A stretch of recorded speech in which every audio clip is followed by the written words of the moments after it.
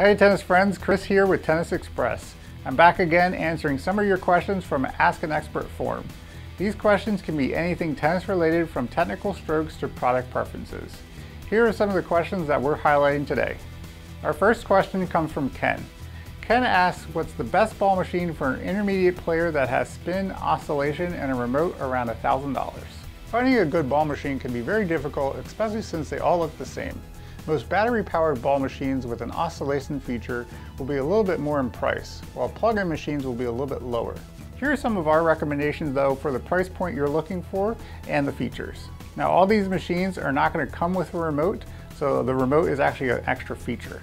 First option is the Lobster Elite Liberty Battery Ball Machine with basic charger. Second is the Lobster Elite Freedom Battery Ball Machine. Third is the Sports Tutor Tennis Cube with oscillator. And fourth is the Sports Tutor Tennis Tutor Pro Lite AC Oscillator. For more insight on ball machines, feel free to head over to our Tennis Express blog. Our second question of the day comes from Abby. Abby says she's playing with the Head Graphene Instinct MP and currently has Luxilon strung at 51 pounds but finds it's too stiff. She wants to know if she adds natural gut to the mains and Luxilon to the crosses, what the recommended tension should be. Most Luxilon strings are going to be on the firmer side, so lowering the tension will help tremendously.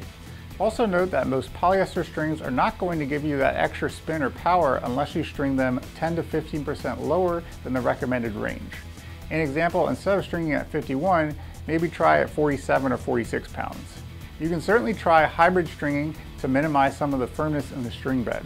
If you do put natural gut in the mains and Luxilon in the crosses, we would recommend starting at around 53 pounds for the natural gut and 49 pounds for the polyester, and then adjusting as needed. Natural gut in the mains will give you a significant increase in power and feel. That's all for today, but we'll see you next Friday for our live Q&A session. We'll be featuring a special guest, so stay tuned for more details.